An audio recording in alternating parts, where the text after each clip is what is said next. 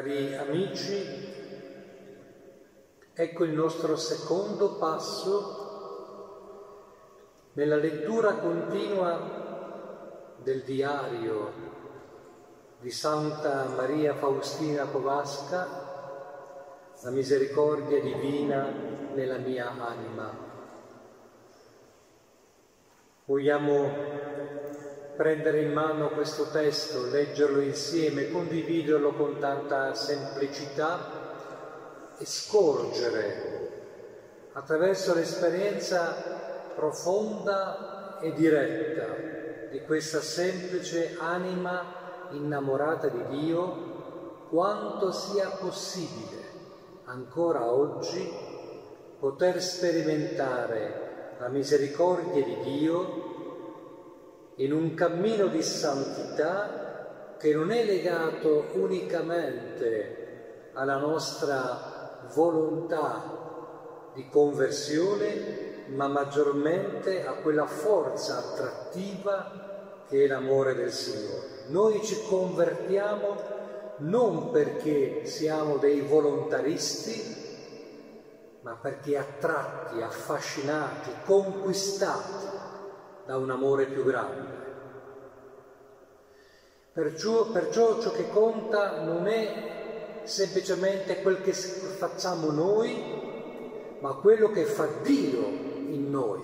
Questa è la grandezza dell'opera di conversione e del combattimento spirituale che in Sor Faustina emerge con una certa prepotenza, molto simile anche se non uguale, al cammino che invece Santa Teresina e il bambino Gesù ha sviluppato attraverso l'opera della grazia nella sua vita, molto simile a quello che accadde nella vita e nell'opera di San Bernardo di Chiaravalle, ad esempio, molto simile all'esperienza di Caterina da Siena.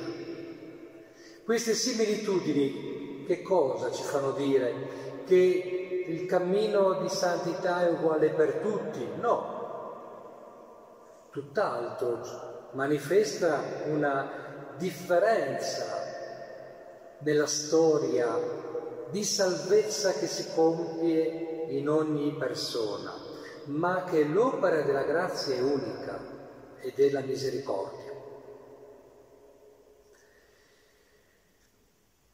Sarebbe interessante, ma diventerebbe un po' complesso farlo qui, prenderci tempo per confrontare più uh, sante che hanno parlato di questo tema, ma vi annoierei su temi che forse non sono di vostro gradimento.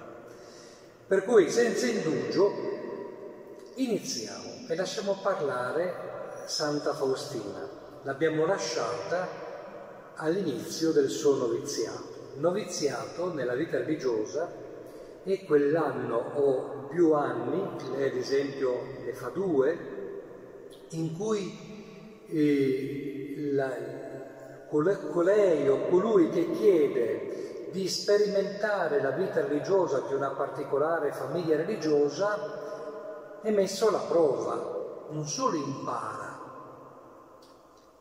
l'essere frate o il fare la suora, ma è proprio una trasformazione di un mondo. Lei deve imparare ad amare Dio all'interno di una tradizione che non è lei a costituire, ma in cui lei si inserisce. E questa, no, questo anno di noviziato è fatto in modo particolare perché è un anno abbastanza determinato, deciso nel suo carattere, è qualcosa che deve forgiarti e quindi è qualcosa che ti mette alla prova. Spesso il novizio va in crisi per le questioni esterne a lui, la cosiddetta disciplina conventuale. Noi vedremo che l'anima bella di Sor Faustina, avrebbe forse preferito andare in crisi per la disciplina conventuale, piuttosto che per il grande lavorio che la grazia opera in lei. Sentite quello che dice, siamo nel primo quaderno al numero 23. Verso la fine del primo anno di noviziato cominciò a farsi scuro nella mia anima. Non provo alcuna soddisfazione nella preghiera, la meditazione per me è una grande fatica, la paura comincia a impossessarsi di me, penetro a fondo nel mio intimo e non vi scorgo nulla all'infuori di una grande miseria. E la prospettiva non è molto rosea. Vedo chiaramente la grande santità di Dio, non oso alzare gli occhi fino a Lui, ma mi prostro nella polvere ai Suoi piedi e mendico la Sua misericordia. Lo sguardo di Suor Faustina nella sua vita interiore è contrassegnato da alcuni tratti che a volte albergano anche nel nostro cuore. Cominciò a farsi scuro nella mia anima e una sorta di notte oscura che anche San Giovanni della Croce ha raccontato nella mistica questo passo è necessario. San Giovanni della Croce lo spiega attraverso un esempio del legno all'interno del fuoco. Lo racconto perché è così più facile capire anche i passi seguenti che leggeremo. Dice San Giovanni della Croce, io sono come un legno gettato nel fuoco. Cosa fa il fuoco con il legno? Lo brucia non è che lo brucia immediatamente, il legno fa resistenza al bruciarsi del fuoco. Per cui cosa fa? Il legno fa resistenza, il fuoco fa d'assedio alla, al legno nella sua esteriorità e il legno incomincia a gettare fuori da sé tutto ciò che è scorie. È una sorta di purificazione del legno. Ecco il primo grande gradino della vita mistica, quella che si chiama purificazione dell'anima. Non entriamo se passiva o attiva, la differenza è molto semplice, attiva è quello che fai tu per purificarti, passiva è quello che tu non avresti mai scelto ma che Dio sceglie per te. E di solito è più, più funzionale il passivo rispetto all'attivo. Il legno viene, tira fuori tutto ciò che gli impedisce di bruciare bene e incomincia a prendere fuoco dall'interno. Il legno prende fuoco dall'interno e dice San Giovanni della Croce, così è il momento in cui l'anima si infiamma d'amor di Dio. E questa combustione dall'interno aumenta il fuoco. In certo qual modo il fuoco aumenta la sua potenza grazie al bruciarsi del. Così è l'amore di Dio nella mia vita. Più amo il Signore, più mi sento conquistato da Lui, più la presenza di Dio il suo amore è evidente. Eh, lo vediamo nei santi, lo vediamo in tante persone che abbiamo conosciuto, che noi stessi diciamo è veramente un uomo di Dio, una donna di Dio, lo riconosciamo che c'è qualcosa che ha lavorato, non è solamente una persona buona, non è solamente una persona che ha fatto della carità, è qualcosa di più. E infine il legno prende completamente fuoco che diventa cenere, si consuma. E questo è il grado maggiore della mistica, di unione mistica. Qualcuno dice che l'unione mistica avviene solamente dopo la morte, qualcun altro ha avuto esperienze prima, comunque c'è questo grado. Ecco, Santa Faustina vivrà per molto tempo tra questi primi due scalini. Noi usiamo l'immagine delle scale, ma di, di per sé non è la più adatta. Di queste due dimensioni che si legano fra di loro, una sorta di purificazione al suo interno e questa purificazione accende l'amore di Dio, che è sempre più evidente, sempre più, più grande. Questo cosa ci fa dire? Che non è detto che ciò che tu stai provando di tribolazione, di contrarietà, di impedimenti, di resistenze, sia semplicemente legato a qualcosa di peccaminoso.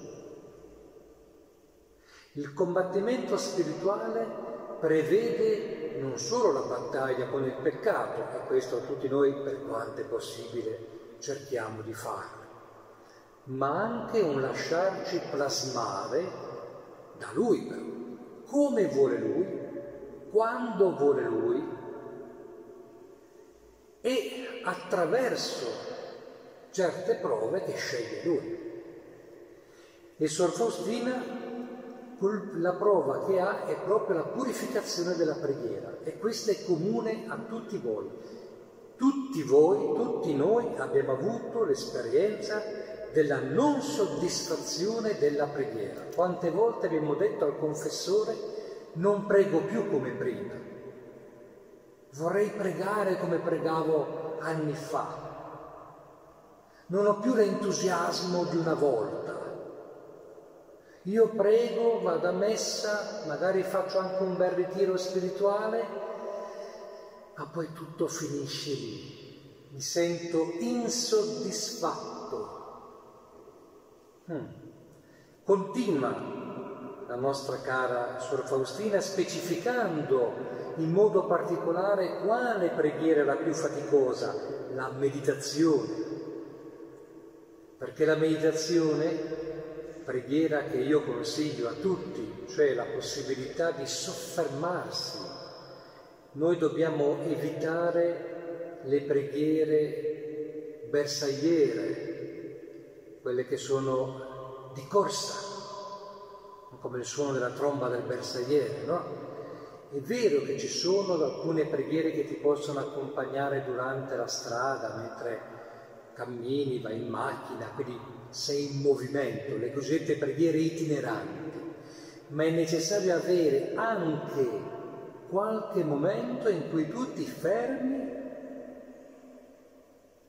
e posi la tua attenzione su qualcosa, meglio ancora se è la parola di Dio, che possa parlare al tuo cuore.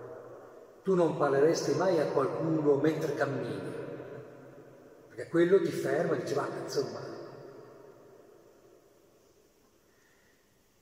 La paura, dice Sor Faustina, comincia a impossessarsi di me. Di cosa ha paura Sor Faustina? Ed esso lo dice. Penetro fino a fondo nel mio intimo e non vi scorgo nulla all'infuori di una grande miseria. E depressa No, ma vede chiaramente la santità di Dio. E poiché vede talmente la santità di Dio nella sua vita, che come direbbe Santa Caterina da Siena, tu sei colui che è, io sono colei che non è.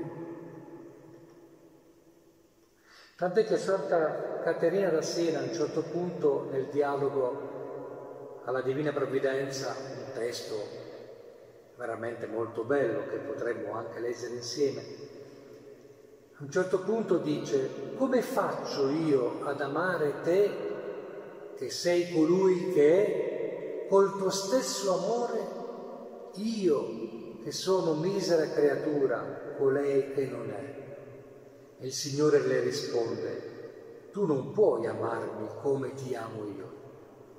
Eh, dice, e allora come si fa? Sentite la risposta di Gesù.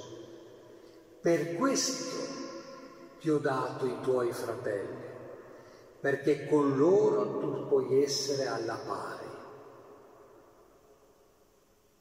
Qualsiasi cosa avete fatto a uno dei miei fratelli più piccoli, lo avete fatto a me. Ma andiamo avanti. Lei dinanzi a questa prova, a questa tribolazione in cui si vede scavata dal suo nulla, cosa fa? Non fa come facciamo tutti noi, cadendo in una sorta di disprezzo di sé, battendoci solamente il petto flagellandosi come non mai, buttando sotto i nostri piedi la nostra dignità e calpestandola, no? Lei dice, mi prostro nella polvere ai suoi piedi e mendico la sua misericordia, cioè beati i poveri in spirito, perché di essi è il regno dei cieli. Lei riconosce totalmente la sua vera e radicale povertà e sa che, come dice l'Apocalisse, solo dal Signore può attingere ricchezza, solo dal Signore può essere riempita. E il Signore non solo lavora, ma accanto le mette qualcuno Guardate che se voi ci fate caso, nella nostra vita, ogni qualvolta siamo andati in crisi, il Signore ha messo accanto a noi un Cireneo, sempre, o una Veronica, sempre. Passò circa metà dell'anno, quindi il primo anno era già andato, siamo alla metà del secondo, ma lo stato della mia anima non cambiò affatto. Questo cosa significa? Che la prova e la tribolazione non passa in uno schiocco di dita come noi vorremmo.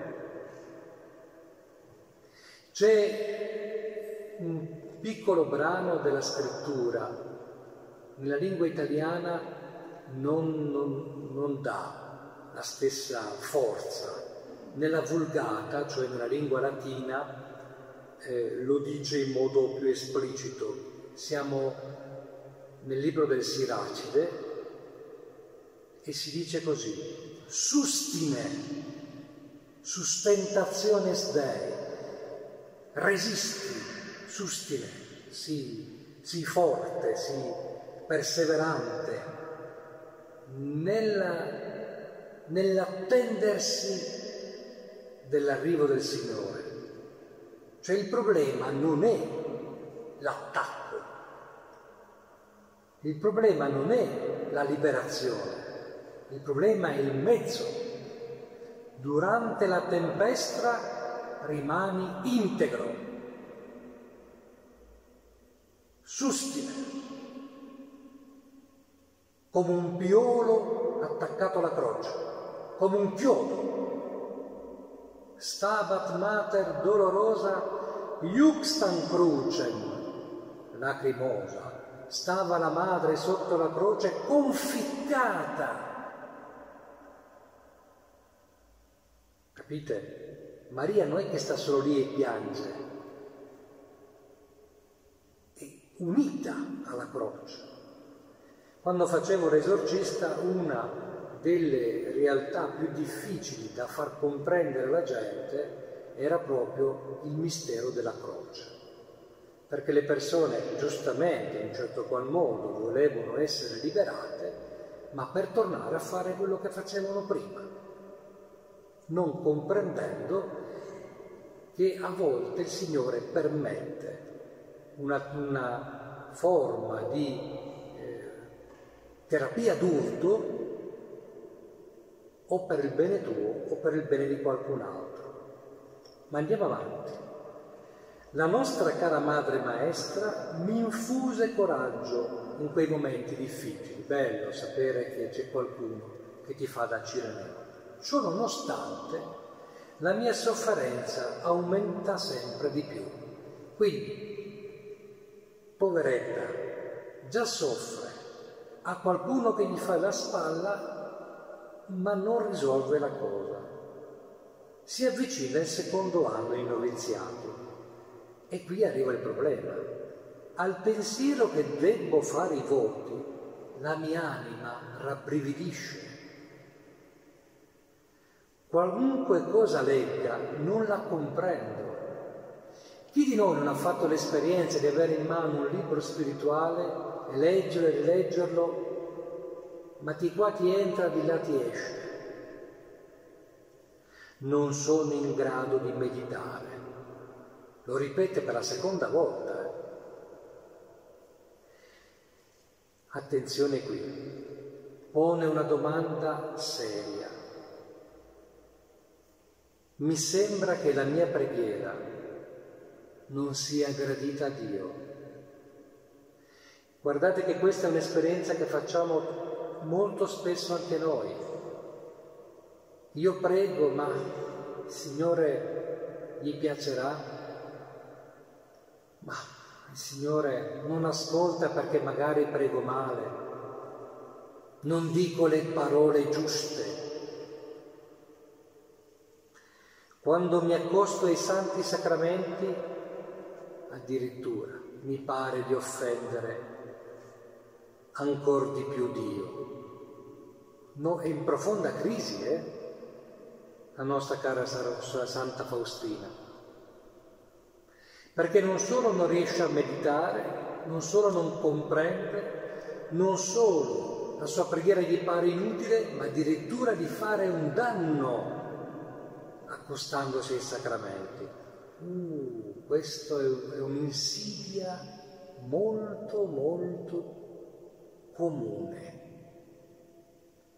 Perché un conto è leggere nella propria anima la presenza del peccato grave il peccato grave è deliberato, è chiaro, è netto nella tua vita. Non è mi pare, mi sembra. O c'è o non c'è. Ok? Un conto è invece un certo tormento dell'anima che ti potrebbe far allontanare da Dio, dai suoi sacramenti, e che il nemico si, insi- si insinua. Il confessore, però, non mi ha permesso di tralasciare nemmeno una volta sola la Santa Comunione. Beato confessore. Perché sapeva che quell'anima buona non era in peccato mortale era in uno stato di tribolazione, di prova, di combattimento e necessitava di essere nutrita dall'Eucaristia. Ecco allora che dice Dio operava in modo singolare nella mia anima. Non capivo assolutamente nulla di quello che mi diceva il confessore. Le più semplici verità della fede mi erano divenute del tutto incomprensibili. La mia anima si tormentava non trovando soddisfazione da nessuna parte. E notte scura sul serio, qui il fuoco veramente la sta purificando, nel punto in cui lei diventerà maestra di tutti noi dell'aspetto della preghiera, della confidenza, dell'intimità con il Signore. Ed ecco la sua paura più grande. Vi ricordate quando lei diceva la paura comincia a impossessarsi di me. Di che cosa paura, Sor Faustina? Eccola qui. In un certo momento mi venne forte idea di essere respinta da Dio è il tormento dei dannati. Questo pensiero spaventoso mi trafisse l'anima da parte a parte. Per questa sofferenza la mia anima cominciò ad agonizzare. Volevo morire e non potevo. Essere respinti da Dio. Io non so se voi avete mai fatto questa esperienza, ma quando un'anima prova l'esperienza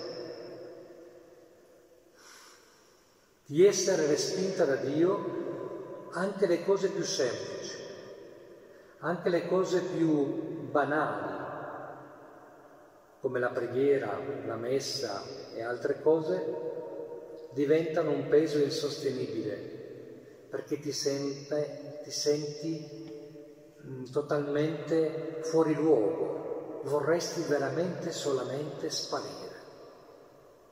La morte veramente ti sembra la via di fuga necessaria.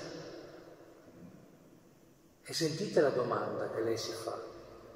A che scopo? Cercare di acquistare le virtù. Perché mortificarsi se tutto ciò non è gradito a Dio? Vale a dire, che senso ha la mia vita? Che senso ha la mia vita di religiosa? Che senso ha amare Dio se sono totalmente respinto?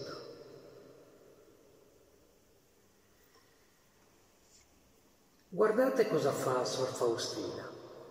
Lei tutte queste cose, e questo lo dico perché è una delle grandezze di Sor Faustina, ma anche di Padre Pio, soprattutto nei primi anni. Lei non si è mai tenuta dentro queste cose, ma con grande, potremmo dire, semplicità poneva queste domande con grande fiducia nelle mani, nel cuore di coloro che erano preposti a guidarla, mettendo in crisi poretti questa, questi superiori, perché non sempre il superiore, per il fatto che il superiore o abbia un ufficio, ha la risposta, questo bisogna sapere. Le dice, quando ne parlai con la madre maestra, ricevetti questa risposta. Sappi, sorella, che Dio la destina a una grande santità. È un segno che Dio la vuole in paradiso, molto vicino a sé. Sorella, abbia molto fiducia nel Signore Gesù. Beh, una bella risposta ha dato la madre maestra, tipica risposta di, quella, di questo spaccato di spiritualità cristiana, dove la prova, la sofferenza erano considerati qualcosa di comune. Guardate la sottile psicologia che c'è dietro, dove qui dice la madre le dà come punto di riferimento l'eternità. Voi vi trovatemi un confessore che quando voi gli parlate delle cose spirituali vi punta lo sguardo sull'eternità. Voglio il nome e il cognome perché ci, mi ci vado a confessare. Il rischio del nostro cattolicesimo moderno è quello di aver appiattito ogni dimensione solo sull'aspetto naturale, dimenticando che il naturale è in ordine al soprannaturale. Non sono due ordini, l'ordine naturale e l'ordine soprannaturale, ma nello stato di grazia l'ordine soprannaturale fa sì che la fecondità di quello naturale venga fuori. Per cui è giusto che la sofferenza di Sor Faustina venga legata al pensiero del paradiso perché è l'unico modo per viverla. Come direbbe San Francesco, che non l'ha mai detto, ma lo hanno attribuito a lui, tanto è il bene che mi aspetto che ogni dolore mi è diletto. Se l'abbia detto lui, questo ho qualche dubbio, comunque diciamo che nella tradizione francescana. Il, tormento, il tremendo pensiero di essere respinti da Dio è il tormento che in realtà soffrono i dannati. Mi rifugiai nelle piaghe di Gesù, ripetevo parole di speranza, ma quelle parole divennero per me un tormento ancora maggiore. Andai davanti al sacramento. Gesù, tu hai detto che è più facile che una madre dimentichi il bambino che allatta, citando Isaia piuttosto che Dio dimentichi una sua creatura. E seppure essa lo dimenticasse, io Dio non mi dimenticherò la mia creatura. Senti Gesù, come geme la mia anima, ascolta i vagiti strazianti della tua bambina. Ho fiducia in te, o oh Dio, perché il cielo e la terra passeranno, ma la tua parola dura in eterno. È bello sapere che lei si rifà a questo passo di Isaia, a questo brano del Vangelo, pur sapendo che non trovai sollievo nemmeno per un istante. Anzi, la situazione diventa ancora più grave, perché un giorno dopo la sveglia, mentre mi mettevo alla presenza di Dio, vedete che è bello vedere questo, questo combattimento di Sor Faustina che nonostante viva una atroce sofferenza interiore, non molla la presa. Non dice, vabbè, allora lasciamo perdere, torno nel mondo. Persevera, persevera in quel progetto che Dio gli ha detto. Vi ricordate quando abbiamo chiuso la, la scorsa meditazione dicendo è qui che ti ho chiamato, dice Gesù e non altrove. E ho preparato per te molte grazie. Lei l'ha sentito nelle sue orecchie, l'ha sentito nel suo cuore, nel suo animo, continua e si mette alla presenza di Dio. E allora questa sera il Signore ci dice che quando sei nella tribolazione, nella prova, e non riesci neanche a pregare perché non ce la fai, non hai neanche parole che ti sorgono nel tuo cuore, sulle tue labbra, mettiti alla presenza di Dio. Anche così incomincia ad assalirmi la disperazione, buio estremo nella mia anima. Gesù non ascolta le mie grida. Sento che mi vengono a mancare del tutto le forze fisiche, cado a terra, sto vivendo pene infernali che realmente non differiscono in nulla da quelle dell'inferno.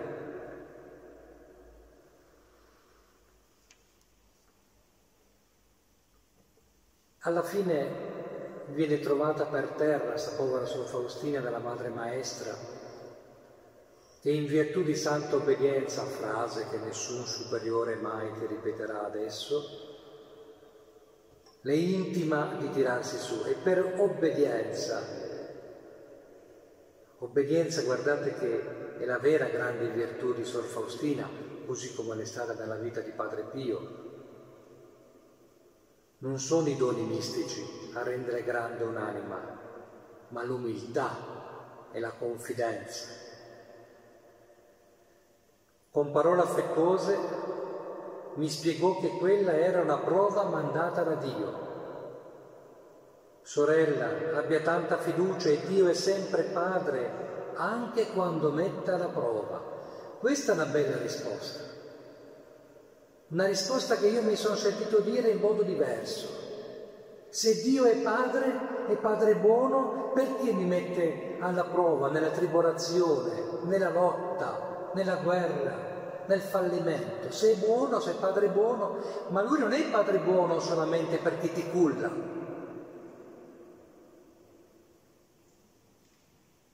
Quale genitore che vede che suo figlio strilla perché è capriccioso, corre immediatamente suo, alla sua guancia per calmarlo e lo coccola come non mai, oppure gli insegna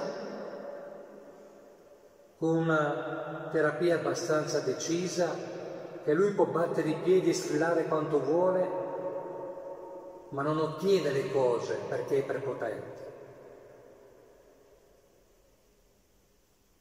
Io ricordo quando ero bambino ed ero uno abbastanza prepotente, gridavo come non mai per ottenere le cose che volevo.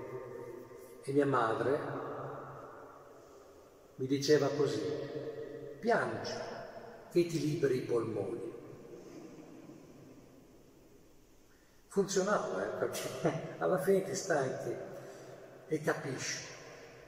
È necessario porre un limite. Tornai ai miei doveri, dice Suor Faustina, come se fossi uscito dalla tomba e rinata. I miei sensi erano come impregnati di ciò che aveva sperimentato la mia anima.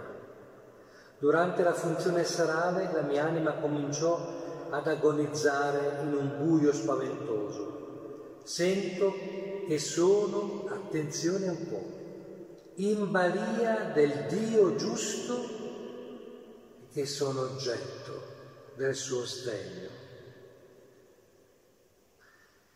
E lei parla con Gesù. E sentite che bella frase dice. O Gesù che nel Vangelo ti paragonasti alla più tenera delle madri, ho fiducia nella tua parola, perché tu sei la verità e la vita. Gesù confido in te contro ogni speranza, contro ogni sentimento, che ho nel mio intimo ed è contrario alla speranza. Vedete come Sor Faustina non è schiava del suo umore. Noi siamo terribilmente schiavi di ciò che succede nel nostro intimo. Se piove o è scuro di giorno, sono triste. Se c'è il sole e un bel caldo, sono tutto euforico. Se questa mattina il caffè non ha funzionato, la giornata va storta siamo terribilmente schiacciati da ciò che succede intorno a noi e dentro di noi, mentre lei prega perché, perché possa avere confidenza contro ogni speranza, contro ogni sentimento, contro tutto ciò che è contrario alla speranza. Fa di me ciò che tu vuoi, non mi allontanerò da te, poiché tu sei la sorgente della mia vita. Quanto sia tremendo questo tormento dell'anima lo può capire soltanto chi ha provato su di sé simili momenti. E chiudiamo questa sera con quest'ultimo brano, perché poi finisce il noviziato. Nella notte, bellissima questa, mi fece visita la Madonna, con il braccio il bambino Gesù e guardate come cambia la sua anima. Dinanzi alla Madonna col bambino, la mia anima fu piena di gioia e dissi, O Maria, Madre mia, lo sai quanto debilmente soffro?